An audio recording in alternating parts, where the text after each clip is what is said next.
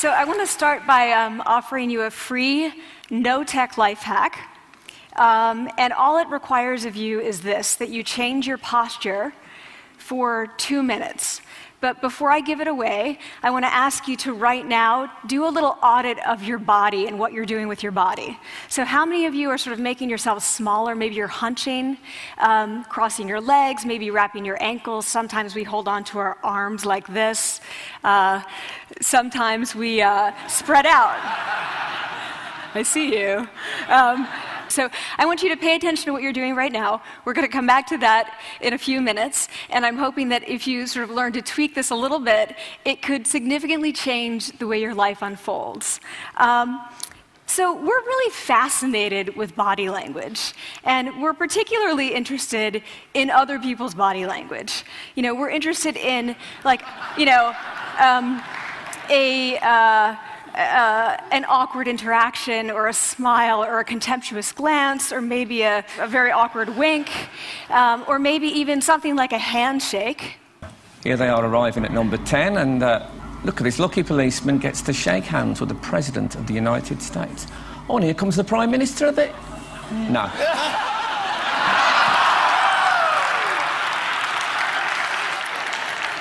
um, a handshake or the lack of a handshake can have us talking for weeks and weeks and weeks, even the BBC and the New York Times. So, so obviously, when we think about nonverbal behavior or body language, but we call it nonverbals as social scientists, it's language. So we think about communication. When we think about communication, we think about interactions. So what is your body language communicating to me? What's mine communicating to you? And there's a lot of reason to, to, to believe that this is, this is a valid way to look at this. So social scientists have spent a lot of time looking at the effects of, of our body language or other people's body language on judgments. And we make sweeping judgments and inferences from body language. And those judgments can predict really meaningful life outcomes like who we hire or promote, um, who we ask out on a date. For example, uh, uh, Nalini Ambady, a researcher at Tufts University, shows that when people watch 30 minute, uh, 30 second soundless clips of real physician patient interactions, their judgments of the physician's niceness predict whether or not that physician will be sued. So it doesn't have to do so much with whether or not that physician was incompetent, but do we like that person and how they interacted?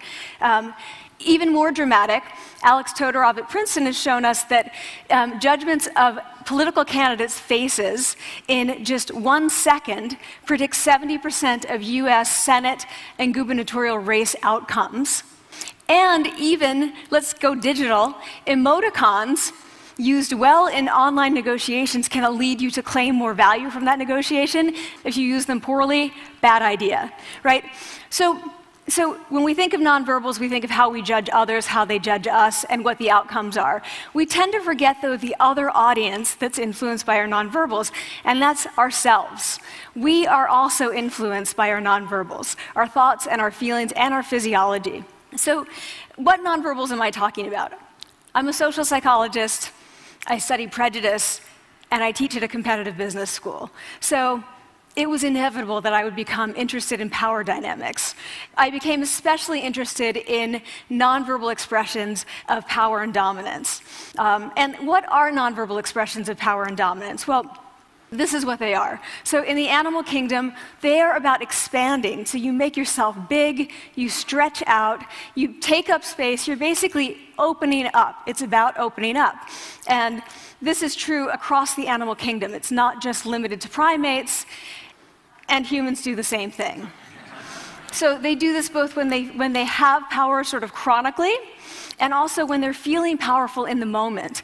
And this one is especially interesting because it really shows us how universal and old these expressions of power are. This expression, which is known as pride, uh, Jessica Tracy has studied, she shows that people who are born with sight and people who are congenitally blind do this when they win at a physical competition. So when they cross the finish line and they've won, it doesn't matter if they've never seen anyone do it, they do this. So the arms up in the V, the chin is slightly lifted. What do we do when we feel powerless? We do exactly the opposite.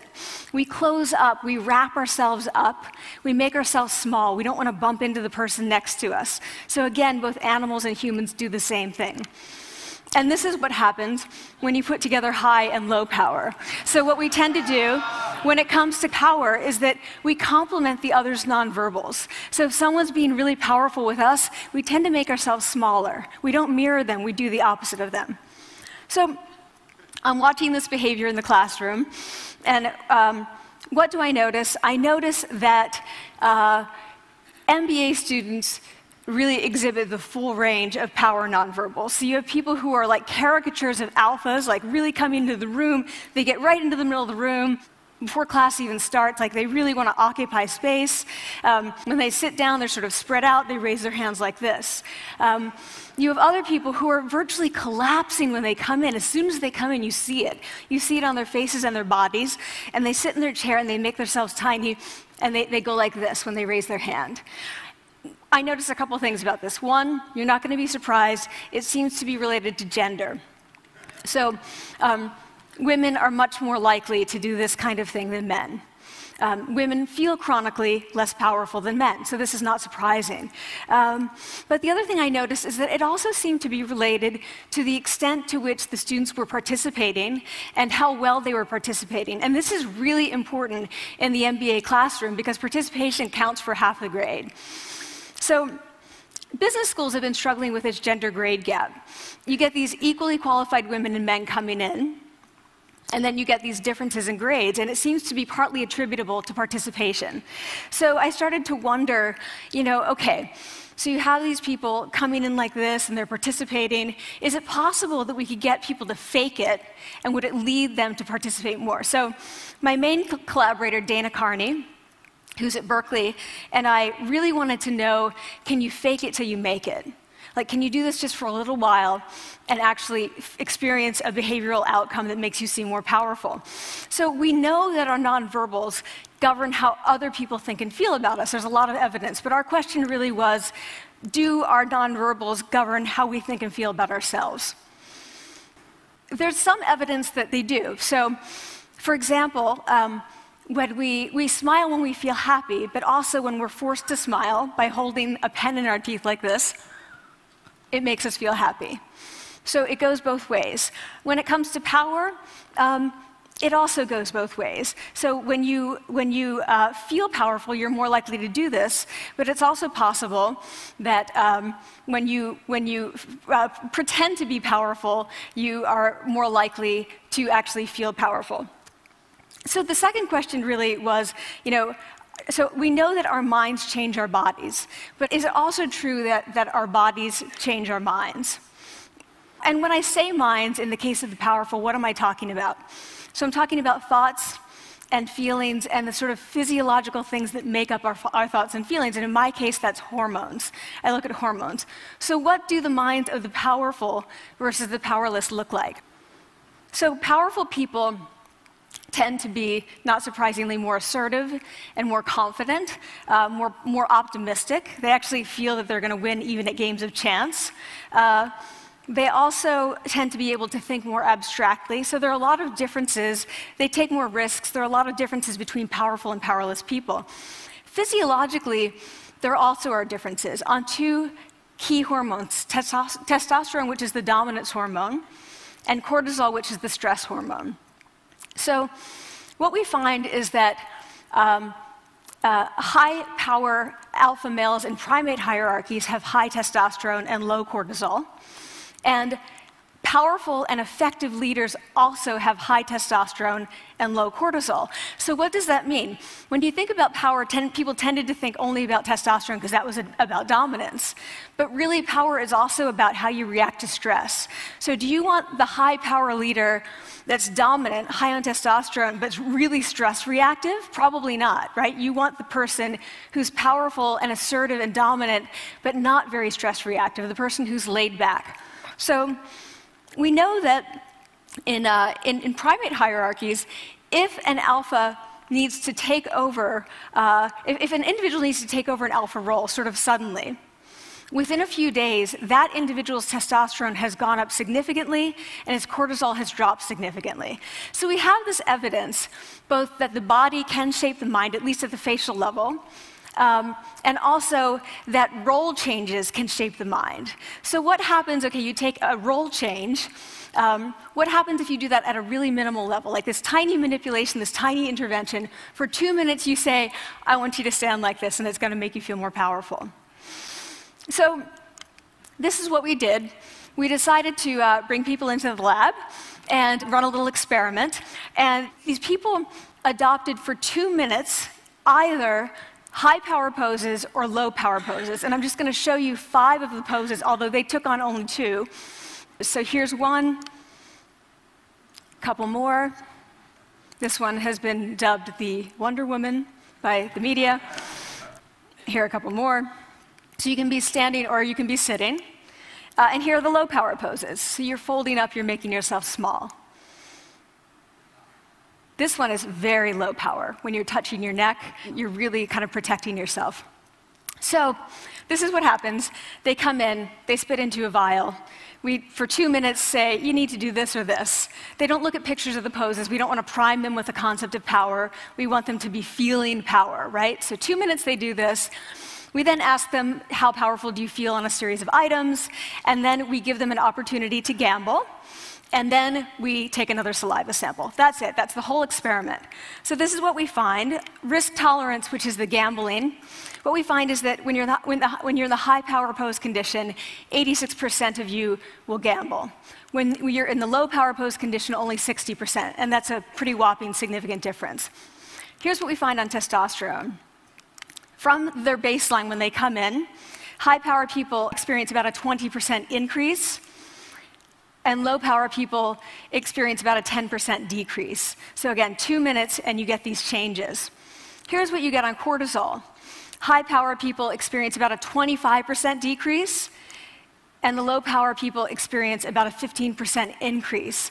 So, two minutes lead to these hormonal changes that configure your brain to basically be either assertive, confident, and comfortable, or really stress reactive um, and you know feeling sort of shut down and we've all had that feeling right? So it seems that our nonverbals do govern how we think and feel about ourselves. So it's not just others but it's also ourselves.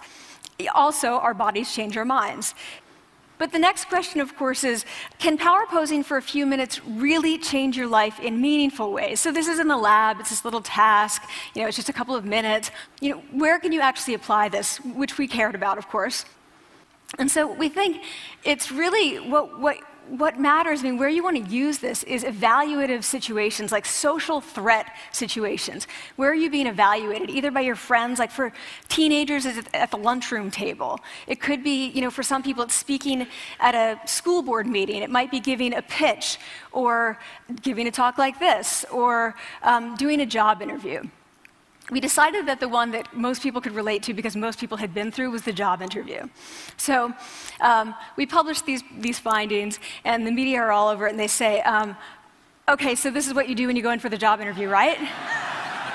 you know, so we were, of course, horrified and said, oh my God, no, no, no, that's not what we meant at all for numerous reasons. No, no, no, don't do that. Again, this is not about you talking to other people, it's you talking to yourself. What do you do before you go into a job interview? You do this right? You're sitting down, you're looking at your iPhone or your Android, not trying to leave anyone out. Um, you are, you know, you're looking at your notes, you're hunching up, making yourself small, when really what you should be doing maybe is this, like in the bathroom, right? Do that, find two minutes. So that's what we want to test, okay? So we bring people into a lab and they do a couple, they do either high or low power poses again. They go through a very stressful job interview. It's five minutes long. They are being recorded, they're being judged also. And the judges are trained to give no nonverbal feedback. So they look like this. Like imagine this is the person interviewing you. So for five minutes, nothing. And this is worse than being heckled. People hate this. It's, it's what Marianne LaFrance calls standing in social quicksand. So this really spikes your cortisol. So this is the job interview we put them through because we really wanted to see what happened. We then have these coders look at these tapes, four of them. They're blind to the hypothesis, they're blind to the conditions. They have no idea who's been posing in what pose. And they, they, they end up looking at these sets of tapes and they say, oh, we want to hire these people, all the high power posers. We don't want to hire these people. We also evaluate these people much more positively overall. But what's driving it? it's not about the content of the speech, it's about the presence that they're bringing to the speech. We also, because we rate them on all these variables related to sort of competence, like how well structured is the speech, how good is it, what are their qualifications, no effect on those things. This is what's affected, these kinds of things. People are bringing their true selves, basically. They're bringing themselves. They bring their ideas, but as themselves, with, with no you know, residue over them. So, this is what's driving the effect or mediate, mediating the effect. So, um, when I tell people about this, that our bodies change our minds and our minds can change our behavior and our behavior can change our outcomes, they say to me, I don't, it feels fake, right? So I said fake it till you make it. Like, I don't, it's not me. Like, I don't want to get there and then still feel like a fraud. I don't want to feel like an imposter. I don't want to get there only to feel like I'm not supposed to be here. And that really resonated with me because I want to tell you a little story about being an imposter and feeling like I'm not supposed to be here. When I was 19, I was in a really bad car accident. I was thrown out of a car, rolled several times. I was thrown from the car, and um, I woke up in a head injury rehab ward. And I had been withdrawn from college. Um, and I learned that my IQ had dropped by two standard deviations, which was um, tr- very traumatic. I knew my IQ because I had identified with being smart, and I had been called gifted as a child. So I'm taken out of college. I keep trying to go back. They say you're not going to finish college. Like just you know, there are other things for you to do, but that's not going to work out for you. So I, I, really struggled with this. And I have to say, having your identity taken from you, your core identity, and if, for me it was being smart, having that taken from you, there's nothing that leaves you feeling more powerless than that. So I felt entirely powerless. I worked and worked and worked, and I got lucky and worked and got lucky and worked. Eventually, I graduated from college. Took me four years longer than my peers. And I convinced someone, my, my angel uh, advisor, Susan Fiske, to take me on. And so I ended up at Princeton, and I was like, I am not supposed to be here. I am an imposter. And the night before my first year talk, and the first year talk at Princeton is a 20 minute talk to 20 people. That's it. I was so afraid of being found out the next day that I called her and said, I'm quitting. She was like, You are not quitting because I took a gamble on you and you're staying. You're going to stay, and this is what you're going to do. You're going to fake it. You're going to take, you're going to do every talk that you ever get asked to do. You're just going to do it and do it and do it, even if you're terrified and just paralyzed and having an out of body experience until you have this moment where you say, oh my gosh, I'm doing it. Like, I have become this. I am actually doing this. So that's what I did. Five years in grad school. A few years, you know, I'm at Northwestern, I moved to Harvard. I'm at Harvard. I'm not really thinking about it anymore, but for a long time I had been thinking, not supposed to be here, not supposed to be here. So, the end of my first year at Harvard, um, a student who had not talked in class the entire semester, who I had said, Look, you gotta participate or else you're gonna fail, came into my office. I really didn't know her at all. And she said, she came in totally defeated and she said, I'm not supposed to be here.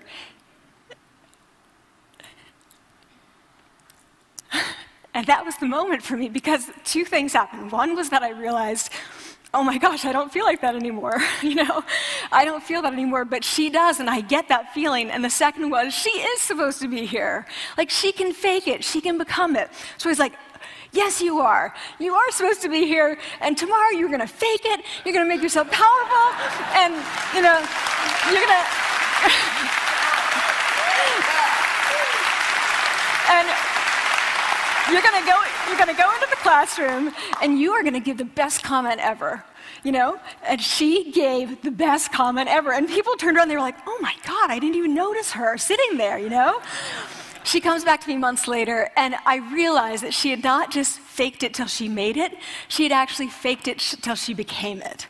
So she had changed. Um, and so I, I, I, I want to say to you don't fake it till you make it, fake it till you become it. You know, it's not do it enough until you actually become it and internalize. The last thing I want to leave you with is this tiny tweaks can lead to big changes. So, this is two minutes. Two minutes, two minutes, two minutes. Before you go into the next stressful evaluative situation, for two minutes, try doing this in the elevator, in a bathroom stall, at your desk behind closed doors. That's what you want to do. Get, configure your brain to cope the best in that situation. Get your testosterone up, get your cortisol down. Don't leave that situation feeling like, oh, I didn't show them who I am. Leave that situation feeling like, oh, I really feel like I got to say who I am and show who I am. So I want to ask you first, you know, both to try power posing and also I want to ask you to share this science because this is simple. I don't have ego involved in this. Give it away. Like, share it with people because the people who can use it the most are the ones with no resources and no technology and no status and no power. Give it to them because they can do it in private. They need their bodies, privacy, and two minutes, and it can significantly change the outcomes of their life. Thank you.